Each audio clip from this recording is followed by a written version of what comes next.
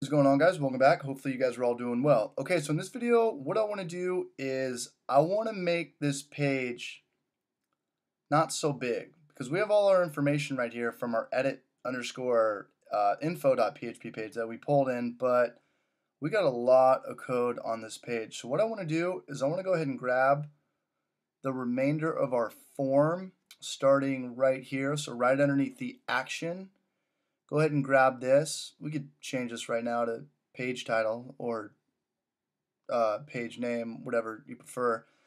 But what I'm going to do is I'm going to start here. I'm going to grab my information title and I'm going to pull this all the way down, yada, yada, yada, to right above here to this closing p tag. Now let's copy that. What I'm going to do now is I'm going to create a new page. And let's go to our text editor, go to TextMate. We'll go new. And I'm going to go ahead and paste this in here. Go down to PHP to change the color. And obviously this isn't done yet because we don't need, we do not even have PHP tags right here, opening nor closing. I'm just going to save it for the time being. And I'm going to save it as, we can put it in our includes folder. Where's my folder? Desktop, Village Park. And I'll just save it to the root folder. We could save it to the includes folder as well. Doesn't matter. It's just preference of where to correctly locate it. And I'll go ahead and call this page, whoa, page underscore form dot php because this is how we're going to create or add pages to our content management system. I'll go ahead and click save just like that.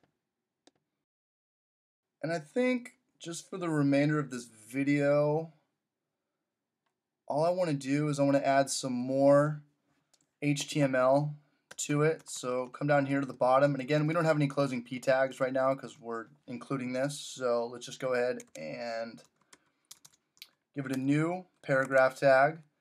And we'll go ahead and call this content or body. Just content works for the time being. And I'll do an HTML break tag.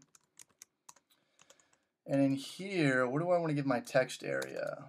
And again, this is just basic HTML text area. We'll call this name. Have we already used content? I don't know, but I don't think so. So I'm going to take a shot in the dark and just go with content. Uh, rows, we'll call it 20. Column, cols, maybe 180. And